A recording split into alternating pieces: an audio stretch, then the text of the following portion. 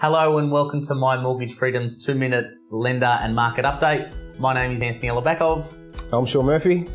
And we wanted to talk to you today about some fixed rate options in the market and what we're advising our clients and also the referral of the week. So we were fortunate a couple of weeks ago to get a call from a referrer, a real estate agent that we work with, and their client went over budget unfortunately at auction. So they went to their lender who then identified that their lending parameters had changed and unfortunately they couldn't borrow as much as they wanted to.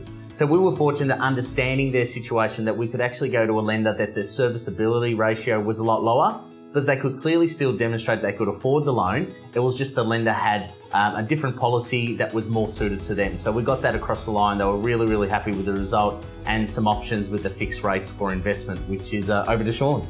So we've also seen a massive change in the landscape for investors and interest rates, and also there's been a massive focus on the interest-only loans. Um, we have seen for nine months now the rates are consistently going up. For the investor to continue to maintain a really good position where the rental income pretty much covers all of the uh, loan repayments on an interest only term, we are definitely recommending you fix your investment loans. You can still get rates around that 4.19 mark, fixed for three years. That pretty much locks in your, your investment and it locks in your um, position for a good period of time. The, the variable rates are almost certainly going to continue to go up.